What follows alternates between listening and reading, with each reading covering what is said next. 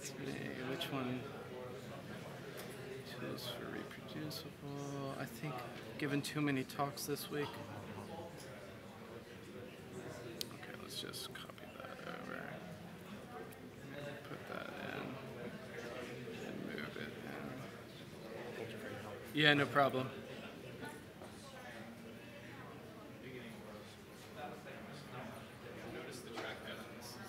Yeah. Well, yeah, it, it's weird because I can click, but it doesn't want to click and move. Ah. well, I mean, whatever. I'm also like the first one up. We can leave it there as far as I'm concerned. It's all the same. Let me just double click. Make sure it works. Yeah, it should be fine.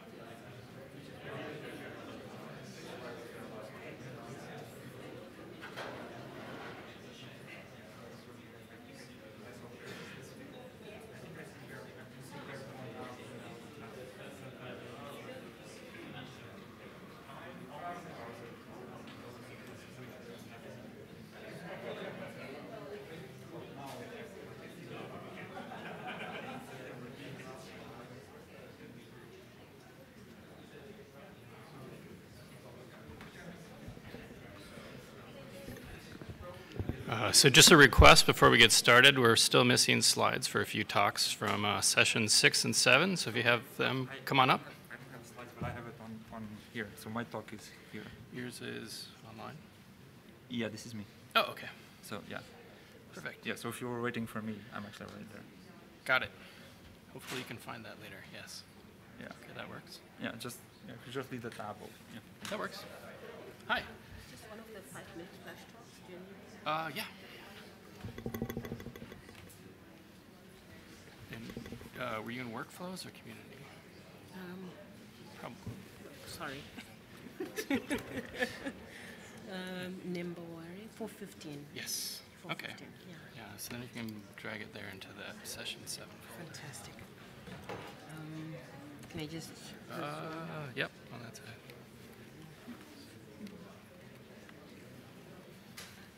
Is it communities? Yep. is. Okay. Sorry. Great. Let's see. Mm, is it, should pop up. Okay, maybe. Is it still reading? Uh, I think it's this one here. Okay.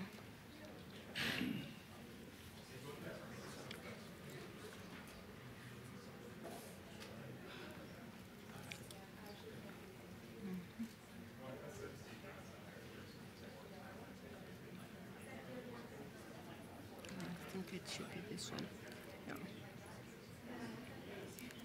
Mm. Mm. Oh, is it control I don't use a Mac. Oh. Yeah, terrible. Okay, let me drag. yeah, that'll work. Okay.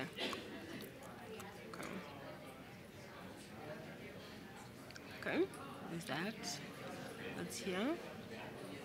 Mm.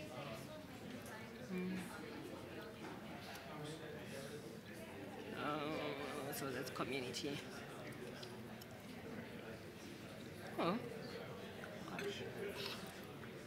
Bad. Macs are great. yeah. I know. That's why I don't have one. Well, anyway, it's because also they're so very expensive. Would you mind helping me out? Ah, yeah, go ahead. I'll, I'll give it a shot. Thank you. It's not working. Oh, there we go. Okay, great. Oh, wow. Sorry. Ah, there you go. Got it. Yeah, All right, great. Thank you so much. Yep, no. Let me just get this out.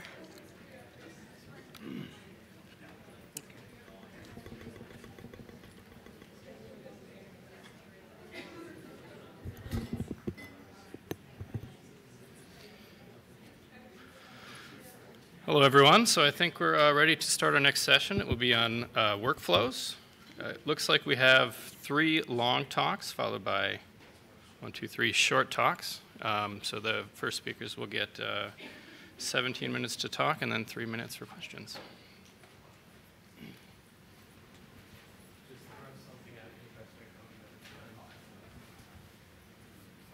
Oh, that's even better. It's way less painful. Okay, cool. See if this is still open.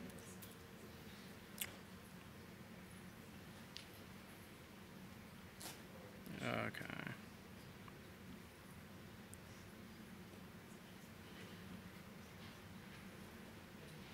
Ah, sweet. Presenter you even. Nice. Um, so, good afternoon, everyone. I'm Devon Ryan. I'm relatively local, so I'm from the Max Planck Institute, just a bit north of here in Germany. Um, so, I'm in a core facility, um, and until recently, we had a little bit of a problem. And the problem was, eh, this is sort of one of these things that are, is innately an issue uh, for probably all core facilities out there. Basically, we work in an academic environment with, say, 250 or so wet lab scientists. Um, this being academia, we always have new people coming in, and they all want to do sequencing, but they have no experience or very little experience. And of course, once we train them up on how to analyze their own data, uh, they graduate and they leave. And then the whole process starts over again and again and again and again. It never ends. But we're a core facility, so we'd really like to, you know, Eh, be able to handle this in some sort of coherent fashion, especially because they just constantly analyze or sequence more and more data. I mean, our capacity has probably increased tenfold in the four years that I've been in the Institute. So what can we do? I mean, really, we'd like to serve as sort of a knowledge repository. So after people go, we ingest their knowledge and sort of spread it out to all of our new people coming in and maybe formalize it in some way. So how could we, how can we sort of enable all these new people coming in? Well, the easiest thing to do is to do nothing. So we just kind of let people do whatever they want. If they have questions, they can come to us, but otherwise, whatever. We just, you know, sit around drinking coffee. The world and the cluster turns into chaos and fire around us. But whatever, we have our coffee, so we're cool with that. Um, that's a bad solution, of course. Um, it, the, the directors of the institute aren't really happy with it. We could also, of course, just you know write long documents about all the best practices, and everyone could simply read this, which they never do, which is really annoying. You should read documentation, of course. Um, you know, alternatively, we could always just analyze their data for them because, you know, we don't need to sleep or anything like that. And, you know, we may have increased our sequencing capacity tenfold over the last few years, but we haven't increased our analytical sort of number of people that much. So that's kind of a no-go. Um, we could do things like Galaxy, which is wonderful, and we do do it. It's, it's great for some people. The reality, of course, is our sort of command, our real hardcore bioinfo folks don't really like using it, and they complain. They want to add a tool, and it's a pain, and I'm the only admin, and I don't want to, and IT won't let me give them root, and yada yada yada. So it's great for some things. It's not so great for other things. When you need this high iteration of, you know, I want to try this tool and that tool and that tool and that tool. It's not so great for that. And of course, we could simply just hold classes. Uh, which we do do, but of course the long classes take forever, and you know the, there's dropout in students over time, or we could have these huge, um, uh, big intensive sessions of just spraying the, with a fire hose of knowledge, and they tend to get overwhelmed by that, and it, the, yeah, they, they don't yeah, it doesn't work well. They, you know, fetal position rocking or something at the end. So what do we really need? Well, we need some sort of pipelines that we can build over time as people come up with new best practices for whatever crazy kind of analyses that they're using. And of course, we need this to be, you know, reproducible, portable version, all the normal workflow stuff. But at the end of the day, these workflows aren't just for us bioinformaticians, they're also for our pure wet lab colleagues. Um, so th these need to be super duper simple to use. So these are people who don't really have command line fluency. Maybe they know CD and LS and maybe make dir, but that's about it. And that, and that should really be fine. They and they really don't care about things like Docker or clusters. This, you know, stuff like things running on the cluster, it needs to work, but they need to not have to care about that. They need to not have to care about how the software is installed. It just needs to sort of work for them. Um, so they need, they need to be able to tweak the, very, the bare minimum number of options, and actually there should be few enough options that actually require tweaking that this can be fully automated.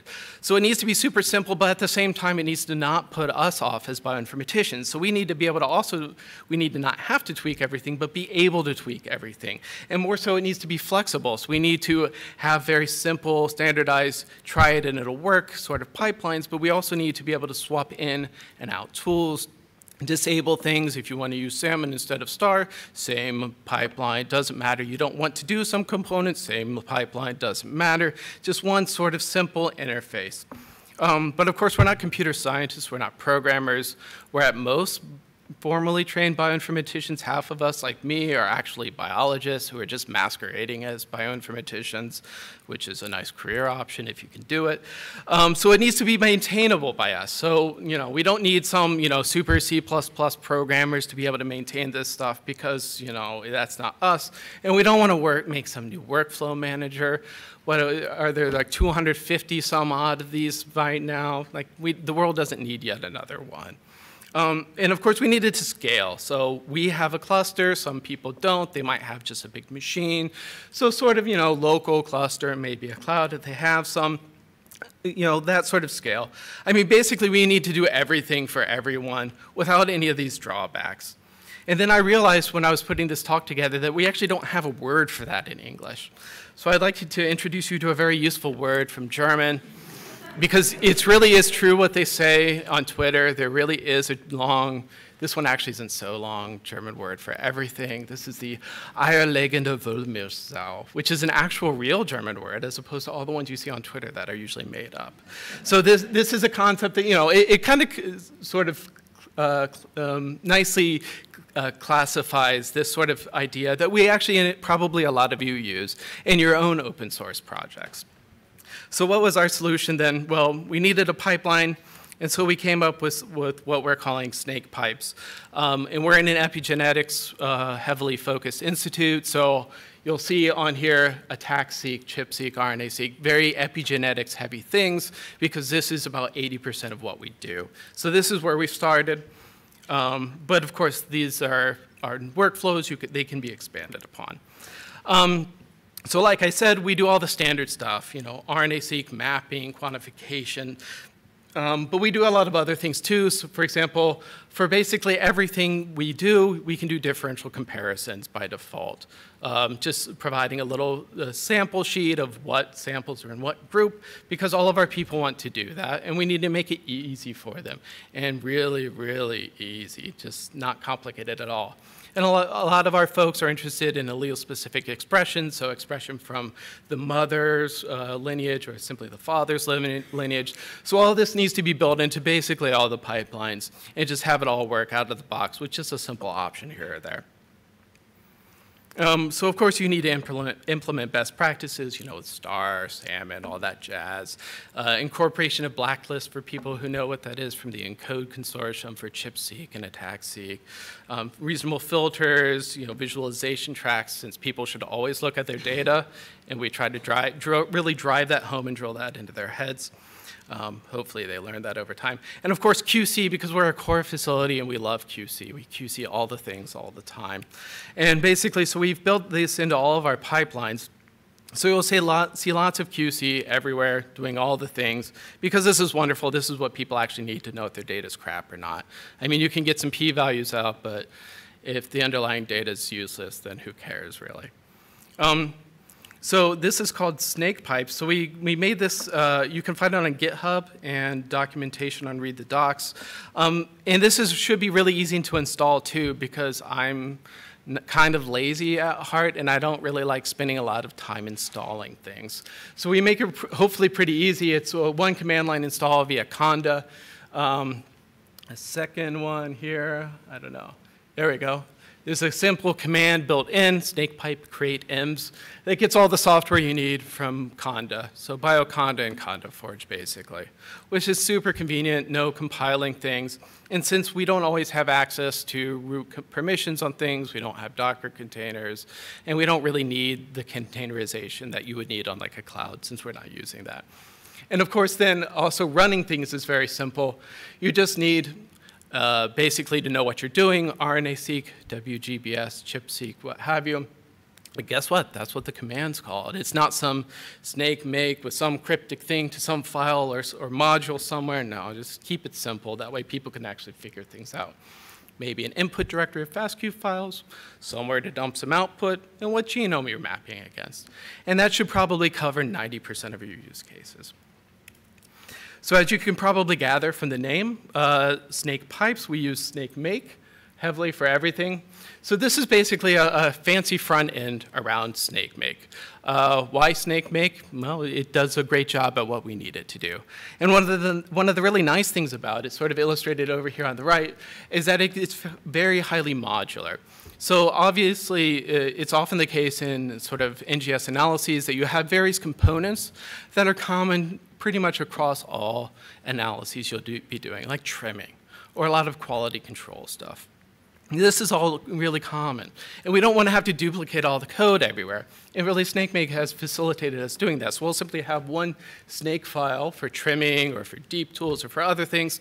And for whatever modules we, or workflows we need to use, they're simply imported in. So we don't have to redo everything. So then also the same versions and same options are used across workflows then, which allows for a lot of compatibility. Um, so yeah, we have SnakeMake, we have Conda environments. SnakeMake is also great. It makes things easy to send off to clusters or whatnot, or to run things locally.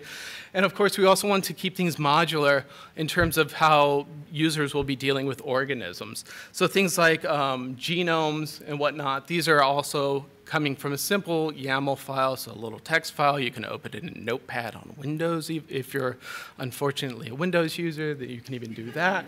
Um, I won't judge you too harshly, maybe a little. Um, yeah, so the, you know these simple uh, sort of text files that are then reused again and again and again across everything, RNA-seq, bisulfite sequencing, everything. Um, and also because most of our end users don't really know about how to run things on a cluster, which queues should we be sending things to? Do I need to run this locally? How should I be configuring all of this? They shouldn't really have to care about all of that stuff. So the general idea is that probably wherever people work, there's some bioinformatician who's or a sysadmin somewhere who's sort of the expert user and can simply edit a simple I don't know where the mouse cursor went, but the, up there, cluster configuration file, and basically put all these rules in there and configure everything, and then everyone else, they don't have to care, it'll just work. Next slide, maybe. There we go. Um, and of course, because we're using SnakeMake, as I said, it scales locally on a cluster. SnakeMake doesn't really care which cluster you're using. They'll pretty much all work. You might have to do a little fiddling here and there for something weird, but for the most part, things should be simple. I mean, this will be the same across all workflow managers. Um, and you know, you can scale this out to hundreds of cores or thousands of cores or whatever you happen to have locally in terms of resources. If you have just a single server, that's fine too. We don't care. It's all good. Um, and you also get these nice DAGs here. So this is a, a, a plot of, for example, a very simple RNA-seq um, workflow. And the nice thing about this is you get these before you actually do the workflows. So you can just generate one of these and say, mm, Did I really want to do all of those things? Do I want to add other things, take things out? You can inspect what you're going to be doing beforehand, which is really nice. So you can sort of avoid wasting a huge amount of time on things. Um, and we have basically all the outputs and what we hope at least is a fairly coherent output structure. So usually things have outputs of the names of tools that are used to generate them. So if you have run an alignment with star, the output should be in something called star. The multi-QC output will always be in a folder called multi-QC because no pipeline is complete without multi-QC. Um, there are logs for everything. There's a YAML file that you can use because people forget over time what options did I use to create these things. And that's stored in that YAML file. And the beautiful thing is, if you want to apply those options to a different sort of data set, you can simply give it the YAML file, and you don't even have to remember what options you used. They're stored there, which is great. Um, yeah. Um, of course, we have all this sort of standard stuff, multi-QC, interactive reports. Yeah, that, you know, R Markdown is great. Long, may it long live, or live long. Um, and the wonderful thing about all of this, really, of course, is you know we have all these visualization tracks, and they're all produced the same way, so they should be compatible with each other across um, workflows. And so we did a nice little test. We downloaded some data sets from this top paper here that was published in Cell uh, a year or so ago. And they were doing some knocking down of various proteins and looking at reorganizations on the X chromosome. I won't go into the biology at all. And we were able, with just a few commands, to recapitulate the basic findings of their paper, with, including H3K4 trimethylation changes in various regions and how that affects uh, or relates to DNA methylation changes, and even bringing in public data sets, because that's easy and everything's nicely compatible, to show how these sort of changes uh, are related to open accessibility and methylation and things that the original paper didn't look, go into because they didn't have the data and they probably didn't know how. And like I said, this is so easy, it works with, without any intervention. So we do this fully automated these days. So we process thousands of samples every year with hundreds of projects, with a whole plethora of different sorts of groups and labs and doing different things on different organisms, basically without touching things at all, which is why we call some things like big red button, because you know, the common joke of we're just, we're bioinformaticians, we're just touching buttons, it's super easy. So of course we call things that. Um, yeah, so thanks to you guys for coming and paying attention. Again, I said uh, you can find us on, on GitHub. Uh, documentation's on Read the Docs. Basically, everything else is on Conda. Uh, we're always looking for new pipelines and new PRs or bug reports. We're pretty much happy to work with anyone on this stuff if you find it useful. Um, and if you get no, nothing else out of this, I mean, what, what I'd kind of like to convey is that, you know, we as bio, bioinformaticians and analysts, we have our own workflows, and we most, mostly make them for us. But we can really come up with this stuff that not only we want to use, but also our end wet lab users want to use. And this is actually possible. We can make these sort of systems that give something for everyone and really don't put all of us off and make us run away screaming and say, oh, this is just for the wet lab people. We need something more powerful for us. No. You can have everything. You can have it all you can have the eierlegende Wollmilchsau. Thanks.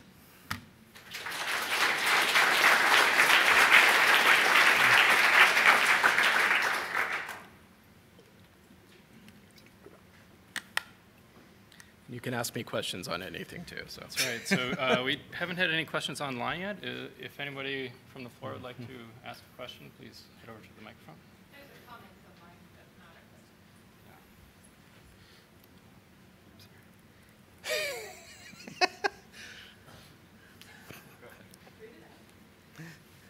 You don't like Hi. me making fun of Windows people. Awesome work. Uh, so, uh, if uh, my, my, question is regarding a new tool, so how like uh, how do you make this PR? Uh, how difficult is it to? Let's say there's another module. Mm -hmm let's what do we call like snake egg slug? Sure. so, so the different modules right? So if i have a new slug new module which i want to add to this so sure. how easy and uh, is it on the uh, online yet on the github? Yeah so every, i mean everything we do is online okay. by default. There are no private repositories nothing like that. No all open all the time as i think most of our projects should be. So i mean in terms of adding things it, it depends on how really ambitious you are with your changing if, with your changes. If you're just adding tools, that should be really easy. Um, you want to swap out something else, use something in place of it. That's just an if-else. If you know Python, you're good, and are vaguely familiar with SnakeMake, you're good to go. Okay, cool. Yeah. Thank you. Uh, regularly, I find like this. Uh, once we get a one run of data, Mm-hmm. and then we check the quality, and then okay, we want more depth of the data, and we have another run, another run, and Sure. then we have to do it. Yeah. So, is there? How do you suggest to do it? Is it uh, like can be done easily with this tool? Well, I mean, that, that one needs to take a bit of a step back and think about how you should actually be, whether you should be integrating those or not, and that will depend on how the actual experiment was done. Um, I mean, i- in general, yeah, you can do that with, uh, this does facilitate some of that, especially in terms of like Hi-C, where you off, we often also have this issue, and so you can give it a sample sheet, and it'll merge the replicates that you've done sort of across batches because you needed more depth. It'll handle that for you. The other modules not, because usually we don't have those issues, like RNA-seq, ChIP-seq. Usually those work, uh, but we're doing a lot of samples, so that's probably why. Okay. Yeah. And another question is, Yeah. how is it i- i- uh, easy to install without disturbing the system admin or something? Yeah, well, so that's the beauty of Conda. Uh, you don't need root. Um, so uh, yeah, it, any so even when we're doing development, we're just we have our Conda environment. We'll uh, Conda create something, snake pipes, and it's installed. Yeah, Oh, thanks. yeah. You shouldn't need root for bioinformatics. Uh, we have time for one more question. Hey, um, great talk. Thank you. Um, I guess you have heard about SnakeMake workflows. Yeah, so SnakeMake workflows didn't exist when we started That's- this. okay, that's what I I mean, honestly, if it did, you know, I mean, so our interface sort of front end might be a little Yeah. easier, but we probably would have joined forces. I mean, you'll notice today there are a lot of talks, uh, Nextflow Core and things that from projects that originated around the same time. And so, you know, we had Nextflow and we had SnakeMake, we had Ruffus, and then sort of we realized, okay, we need some extra workflows on top, and then we all sort of independently started things. Yeah. So you, that, that's why there's so many of us. Yeah, Thank you. yeah. All right, thanks. Thank you. Okay,